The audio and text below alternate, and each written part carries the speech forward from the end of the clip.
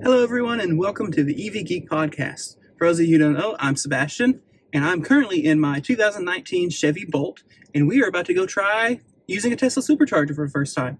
So, uh, Tesla granted access to GM vehicles earlier this week, and I have a you know 2019 Bolt, and I'm curious, you know, if a how easy it works, and b does it work? Because GM has said that some 2019 and some 2020 Bolts need a software update in order to charge at uh, Tesla stations but I'm not quite sure if I need an update or don't because I can't get a straight answer from our uh, dealership. So we're just going to drive up to the nearest uh, V3 supercharger that says compatible on the app and see what happens.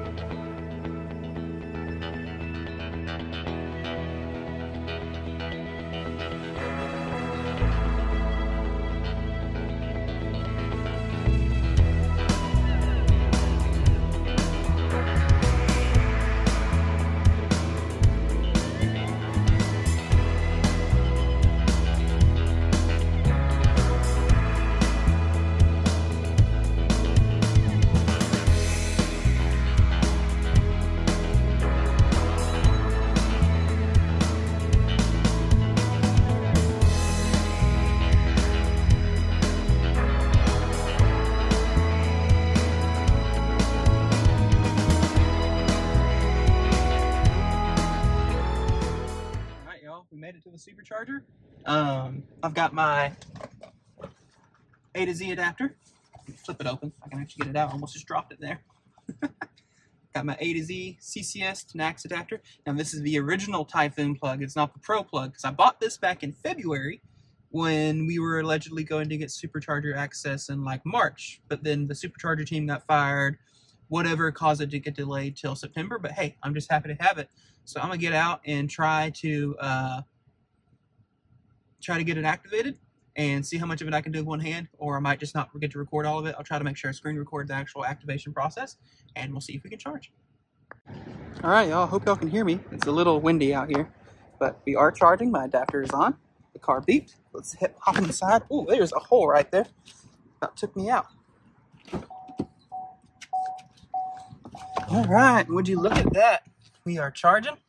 No errors, no warnings, 51 kilowatt, which is exactly what I'd expect at this state of charge. It worked. It's pretty straightforward. I'm going to overlay the uh, start of the charge on the screen here, but otherwise it's pretty uneventful, which is good. That's how charging should be.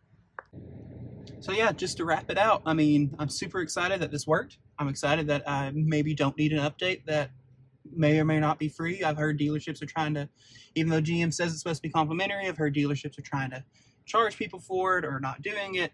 Anyway, dealers suck for the most part. There's a couple good ones out there. I'm not saying everyone sucks, but for the most part, it seems like dealers suck.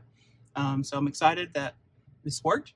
Thank you, Tesla, for enabling uh, GM charging, and thank you for GM team for doing other thing on the back end that would you know maybe needed to be done. One thing I would have loved to be able to see was some form of plug-in charge.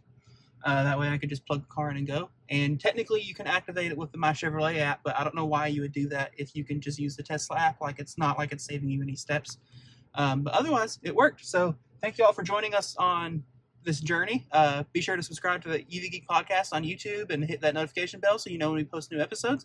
If you want to, drop a comment to this video uh, with your thoughts, any ideas or suggestions maybe that you'd like to see in the future. But otherwise, have a good day.